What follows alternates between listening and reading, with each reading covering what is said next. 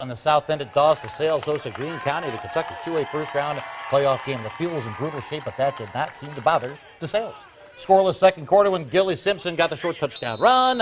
DeSales was on the board, ended the lead, 6 0. And that play worked so well, Derek. What did they do?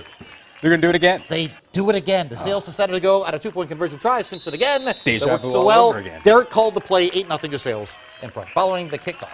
It's almost like you rewound the video there. That pretty much. It was almost the exact same play. Following kickoff, the two-time defending state champs showed how well-rounded they are again for the three-peat. The special teams forced a fumble.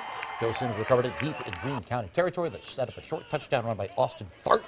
15 0 DeSales. Colts advanced to a second round with a 9-2 record after 40.